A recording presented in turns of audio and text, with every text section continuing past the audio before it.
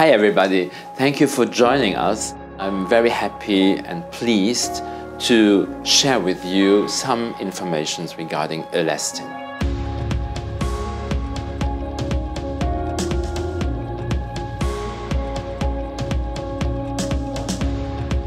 Elastin is a fibrous protein secreted mainly by fibroblasts. It is present in tendons, blood vessels, and connective tissue, including the skin. Elastin is one of the main components of elastic fibers.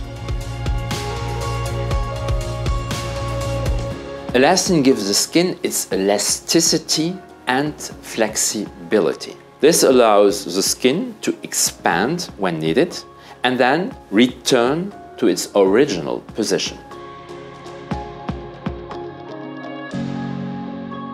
Elastin production occurs mainly during the growth phase of the organism. Thereafter, various phenomena, as aging, affect the elastin synthesis. During aging or after injury, elastin is not immediately replaced. Instead, it is replaced by collagen, which is inextensible. This loss of elasticity results in the apparition of wrinkles and scars.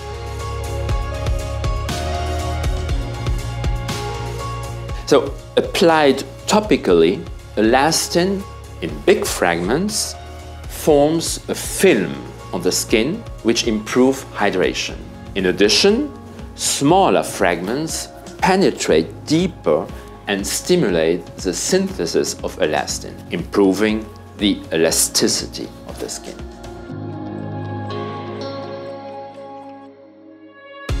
In order to protect cutaneous elastin, the use of antioxidant ingredients acting against free radicals is fundamental. However, the main measure of protection against elastin loss remains sun protection through the use of topical sunscreens and the use of clothing to cover our skin.